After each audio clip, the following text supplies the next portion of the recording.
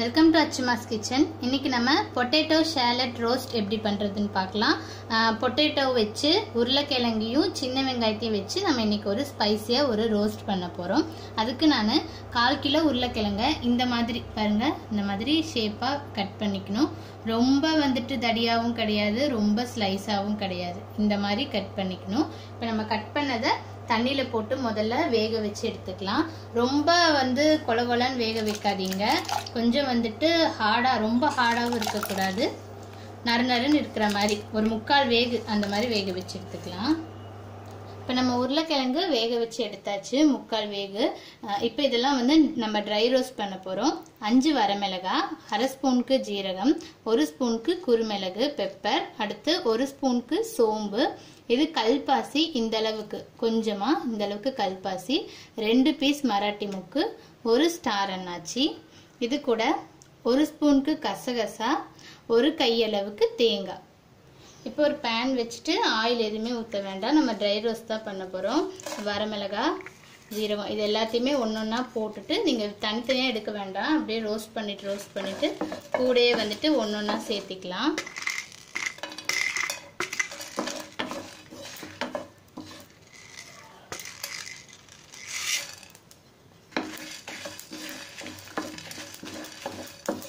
அடுத்து கசகசா. இதெல்லாம் கொஞ்சம் வறுபட்டோன்னா நம்ம தேங்காய் சேர்த்துக்கலாம். இப்போ தேங்காய் சேர்த்திக்கலாம். இப்போ தேங்காயும் சேர்த்திட்டோம். எல்லாமே சேர்த்தியாச்சு. இது கொஞ்சம் கலர் மாறணும். தேங்காய் தேங்காயில் இருக்க அந்த ஈரப்பதம் ஃபுல்லாக போகணும். இப்போ நம்ம இதை நல்லா ஆற வச்சு நம்ம வந்துட்டு பொடி பண்ணி எடுத்துக்கலாம். இப்போ நம்ம ஒரு பேன் வச்சு அதில் ரெண்டு ஸ்பூனுக்கு ஆயில் ஊற்றிக்கலாம் எண்ணெய் காயிட்டும். நம்ம வந்து இதில் கடுகெல்லாம் எதுவுமே போட போகிறது கிடையாது. எண்ணெய் சூடானா நம்ம டைரெக்டாக வந்துட்டு பார்த்திங்கன்னா ஒரு பெரிய வெங்காயம் பொடி பொடியாக அரிஞ்சு வச்சுருக்கேன். இந்த ஒரு பெரிய வெங்காயத்தை இதில் போட்டு வணக்கிடலாம். கூடையே வந்துட்டு கருவேப்பிலை.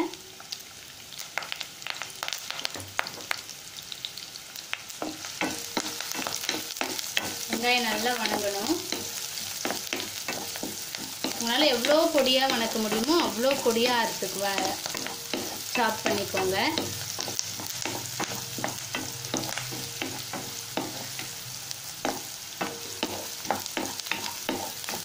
இப்போ இது கூட ரெண்டு ஸ்பூன் அளவுக்கு இஞ்சி பூண்டு பேஸ்ட்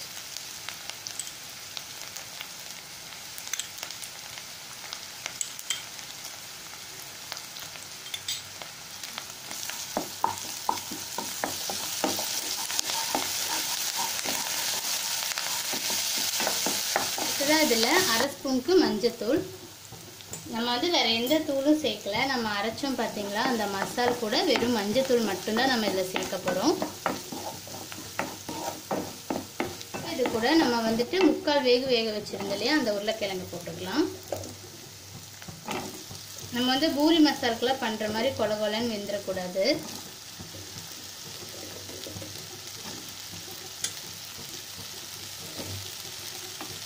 இதை அப்படியே வணக்கி கொடுக்கலாம்.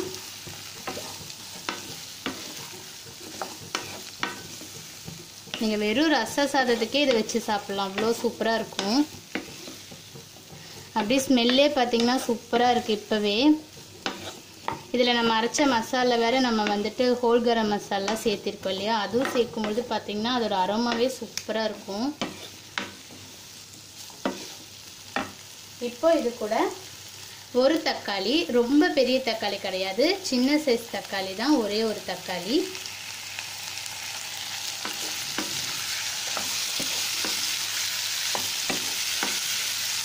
ஒரு ஒரு நிமிஷம் வணக்கி கொடுக்கலாம். தக்காளி பார்த்திங்கன்னா லைட்டாக வணங்கிடுச்சு இப்போ தான் நம்ம என்ன பண்ணணும்னா நம்ம மெயினான பொட்டேட்டோ கூட நான் ஷேலட் சொன்னேன் இல்லையா? அந்த ஷேலட் வந்துட்டு நான் ஒரு இருபது எடுத்து வச்சுருக்கேன் சின்ன வெங்காயம். அதை போட்டுடலாம். சின்ன வெங்காயம் வந்து நீங்கள் எண்ணெயிலே போட்டு வணக்கணும்னு இல்லை. இது வந்து சீக்கிரமாக வணங்கிடும். இது வந்து ஒரு பெரட்டு பெரட்டிட்டு ஒரு அஞ்சு நிமிஷம் அடைச்சி வச்சுருங்க. சின்ன வெங்காயம் வந்து நமக்கு நல்லா வந்து வெந்து கிடச்சிரும். இப்போ நம்ம அடைக்கிறதுக்கு முந்தி இதுக்கு தேவையான அளவு உப்பு சேர்த்துக்கலாம். இது வரைக்கும் நம்ம இதுக்கு உப்பே போடலை.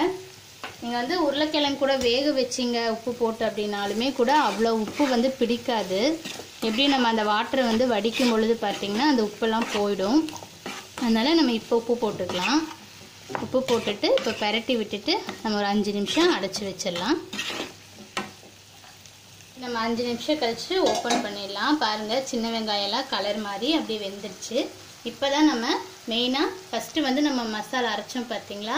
அதை வந்து இதில் ஸ்ப்ரெட் பண்ணிடலாம். நான் வந்து இதில் ஒரு நாலு ஸ்பூன் அளவுக்கு போடுறேன். இது அப்படியே போடுறதுனாலும் போட்டுக்கலாம் அதை கம்மி பண்ணி போடுறதுனாலும் போட்டுக்கலாம். இது உங்கள் விருப்பம்தான். ஆனால் நம்ம அரைக்கும் பொழுது அவ்வளோ அரைச்சி வச்சுக்கலாம்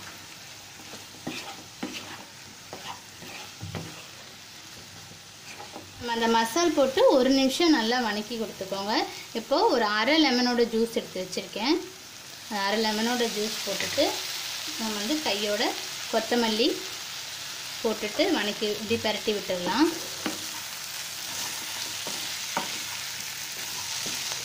அவ்வளோதான் இப்போ லாஸ்ட்டாக ஒரு ரெண்டே நிமிஷம் மட்டும் சிம்மில் வச்சு நம்ம ஒரு மூடி போட்டு இதை அடைச்சி வச்சுருவோம். அவ்வளோதான் இப்போ நம்ம அடுப்பு நிறுத்திடலாம். நம்மளோட ஷேலட் பொட்டேட்டோ ரோஸ் தயாராகிடுச்சு பாருங்கள் வெறும் ரச சாதம் வச்சு சாப்பிட்டாலே சூப்பராக இருக்கும். இப்போ நம்ம சர்வ் பண்ணிடலாம்.